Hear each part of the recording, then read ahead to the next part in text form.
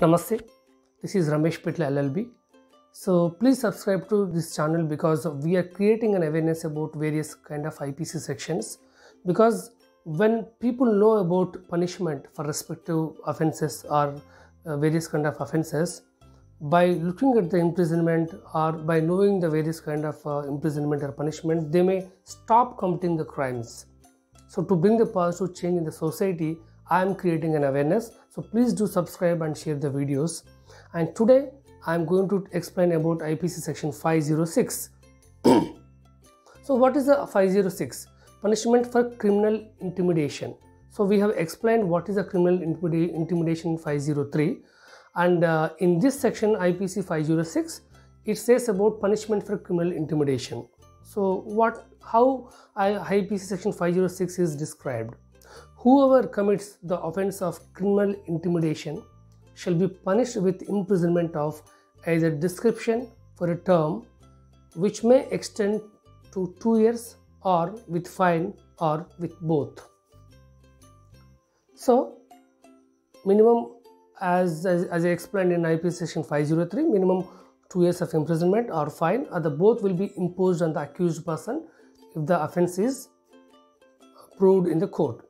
If threat be if threat be to cause death or grievous hurt etc and if the threat be to cause death or grievous hurt or to cause the destruction of any property by fire or to cause any offense punishable with death or imprisonment for life or with imprisonment for a term which may extend to 7 years or to impute or to impute unchastity to a woman shall be punished with imprisonment of 7 years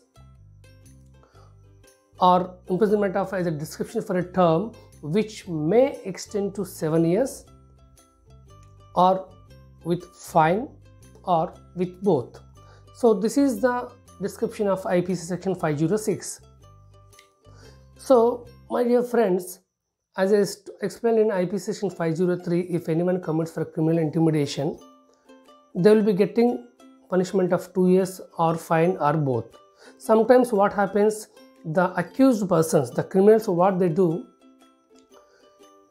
they will commit for criminal intimidation by injuring seriously and they may uh, destroy the property or they may commit for serious offenses like uh, you know committing with uh, some deadly weapons or um, they may uh, they may do kind of some severe offenses they may do. Because as part of criminal intimidation if they do any serious offenses they will be getting 7 years of imprisonment plus fine. And some people what they do uh, such kind of criminal intimidation is like uh, uh, they will do negative or false info false information will be spreading about a specific woman. They may say that uh, the code of conduct of that woman is very bad. That woman is having so many illegal relationship with someone else. Or they will spread all the false information or the bad information about a woman. They will misspread all the information. So for such kind of offences also they will be getting 7 years of imprisonment. Or fine. Or both they will be getting. This is a bailable offence and uh, even they can compromise with the permission of court. But dear friends, there is a two things you need to observe. The first thing is for normal criminal intimidation they will be getting 2 years of imprisonment plus fine.